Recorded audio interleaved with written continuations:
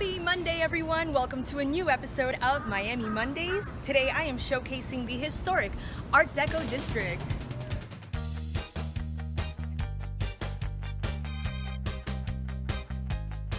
The city of Miami Beach was incorporated as a city on March 26, 1915, and it was a thriving coastal city.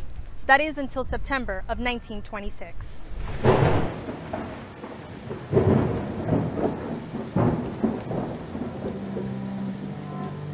At 2 in the morning on September 18, 1926, 150 mile per hour winds stormed through Miami and wreaked havoc. The Great Miami Hurricane of 1926 still remains to be the costliest ever Atlantic hurricane, costing $235 billion and a death toll of 1,000.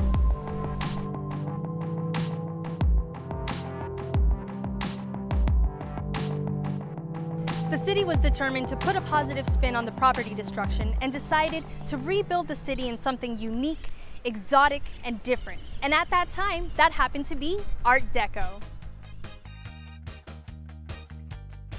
There are three main characteristics to our tropical Art Deco, with one of them being the height.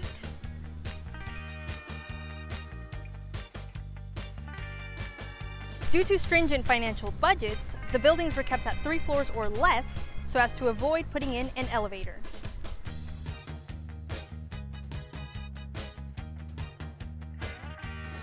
The second characteristic to look for are the eyebrow ledges, which were put there to give shade to the inside of the building. Last but most definitely not least are the nautical features that we have designed into the buildings these nautical features vary from having circular windows, holes cut out into the wall, painted circles to simulate portholes, splashing fountains painted on the buildings, rounded corners, and we even have a building that looks like a lighthouse. Modern buildings also like to keep up with the Art Deco design, such as the Ocean Spray Hotel, which is meant to look like a cruise ship, and the Walgreens on 14th and Collins that's meant to look like a cargo ship. A special hidden secret of our Art Deco architecture is that we were actually heavily influenced by Egyptian culture because at the time that we were building, King Tutankhamun's tomb was discovered.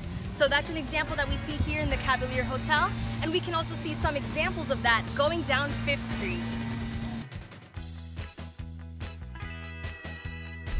The preservation of these beautiful Art Deco buildings wouldn't be possible without the tenacity and incessantness of Barbara Baer Capitman, the founder of the Miami Design and Preservation League.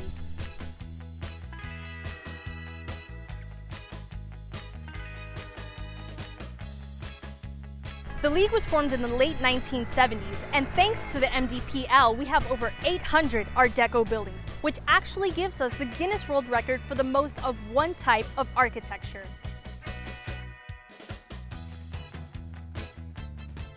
Thank you all once again for tuning in. I hope you guys enjoyed this video. I hope you learned a lot. Make sure to leave a comment below on something new that you learned. Now, I hope you all have a wonderful rest of your week.